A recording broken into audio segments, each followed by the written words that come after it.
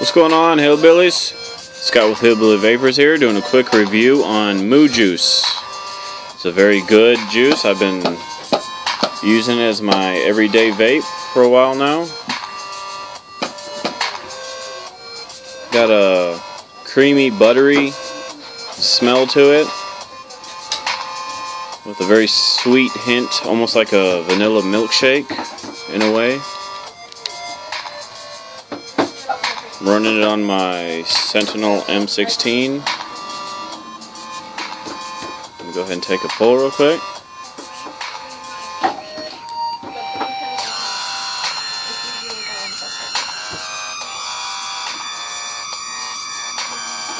Fifty-fifty blend, six milligrams of nicotine, uh, two extra shots of flavor.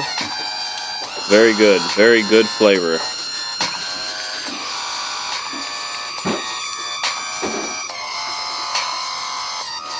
Definitely very impressed with this one. I will be ordering more bottles.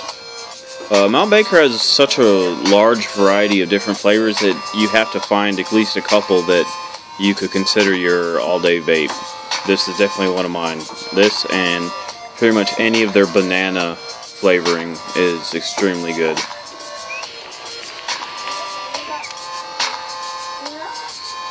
It's a very good company. They really take care of their customers very well. Um, I'd give them a 100% on their customer service. Can't, can't beat their customer service at all.